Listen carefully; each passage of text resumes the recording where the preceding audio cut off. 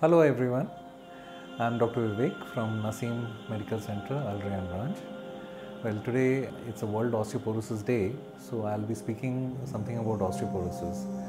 Now, what is osteoporosis? As patients know, it's thinning of bone, and doctors call it as low density of bone. Now, in osteoporosis, generally, uh, why we need to talk about it is uh, it's very commonly found and it commonly affects uh, patients more than age of 40. Uh, females are commonly affected because of that, and uh, it has a certain uh, morbidity which increases or puts the patient at risk with their bone health. So, osteoporosis, as such, we see one in two females or one in four males.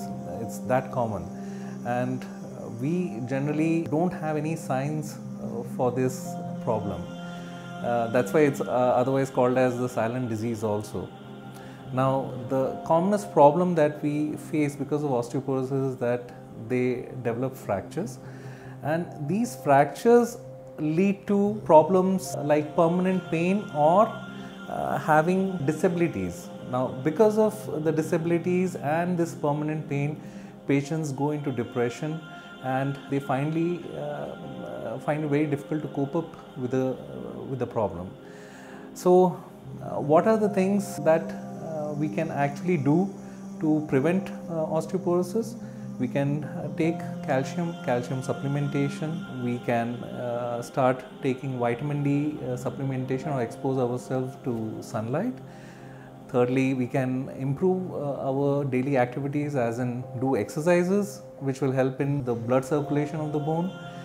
And fourthly, most important, since we're talking that this problem is arising in uh, older patients to uh, prevent falls.